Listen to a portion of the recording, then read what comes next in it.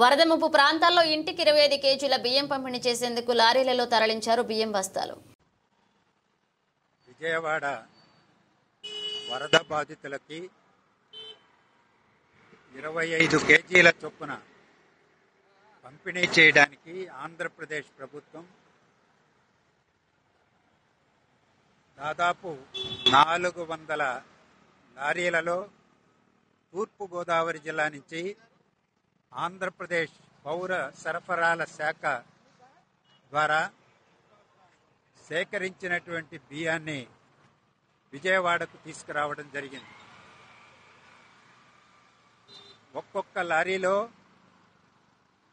పెద్ద లారీ అయితే వెయ్యి బస్తాలు చిన్న లారీ అయితే ఎనిమిది బస్ ఎనిమిది వందల బస్తాల చొప్పున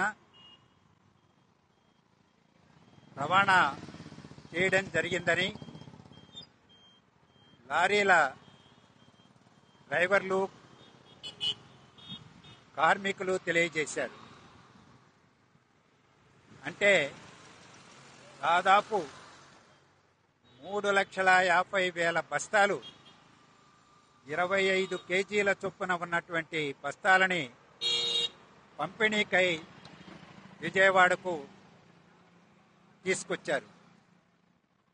వాటిని వెంటనే ఇంటింటికి సరుకులను అందజేసేటువంటి ప్రభుత్వ వాహనాల్లోకి ఒక్కొక్క వాహనంలో నలభై బస్తాల చొప్పున వాటిని బాధితులకు చేర్చడానికి ఆ వాహనాలను కూడా సిద్ధం చేశారు.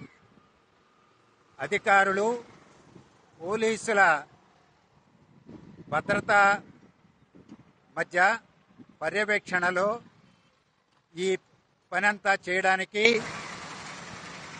అన్ని రకాల ఏర్పాట్లు జరుగుతున్నట్టు ఇది ప్రత్యక్ష నిదర్శనం.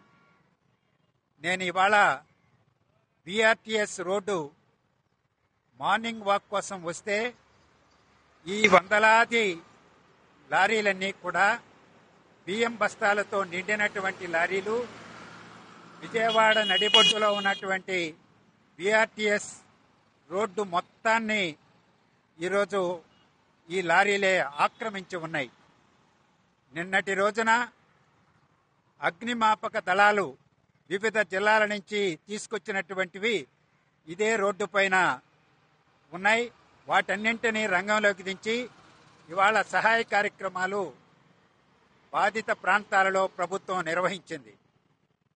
ఆ రోడ్లు నీళ్ళు తగ్గిపోయే కొద్దీ రోడ్లను శుభ్రం చేయడం ఇండ్లను శుభ్రం చేసేటువంటి అంటువ్యాధులు ప్రబలకుండా మళ్ళీ జనావాసాలలో తిరిగి వారి జీవితాలను గడపడానికి వీలుగా కార్యక్రమాలు ముమ్మరంగా సాగిస్తూ ఉన్నారు.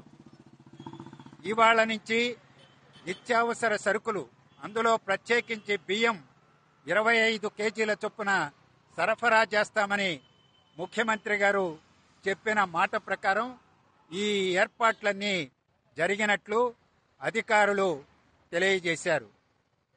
అభినందించదగినటువంటి ప్రభుత్వ కార్యక్రమంగా నేను భావిస్తా ఉన్నాను.